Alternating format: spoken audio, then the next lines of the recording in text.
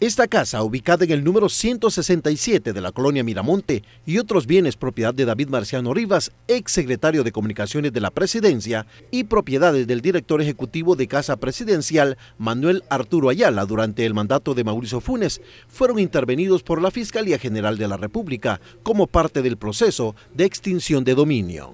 Estamos incautando las propiedades de los señores David Marciano Rivas y Manuel Arturo allá en la Orellana.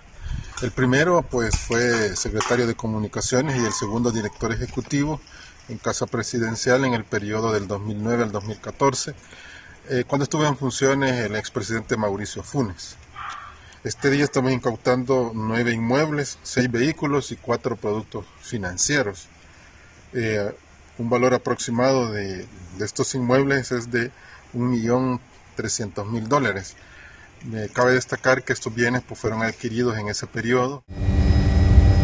Los bienes incautados entre ambos exfuncionarios, que ascienden a 1.3 millones de dólares, fueron entregados al Consejo Nacional de Administración de Bienes, CONAV.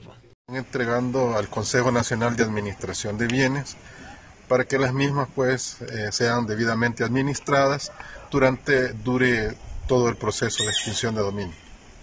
¿Cuál es el procedimiento que va a iniciar entonces a nivel del tribunal? Bueno, en ese momento lo que va a continuar es que se les notifique formalmente a estas personas para que eh, ofrezcan las pruebas que consideren pertinentes. Al final del proceso, pues eh, lo que se pretende es que estos bienes eh, pasen al Estado.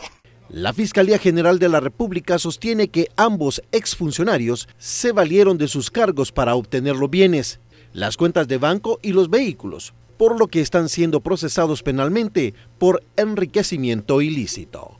Eduardo Alegría López, Mega Noticias 19.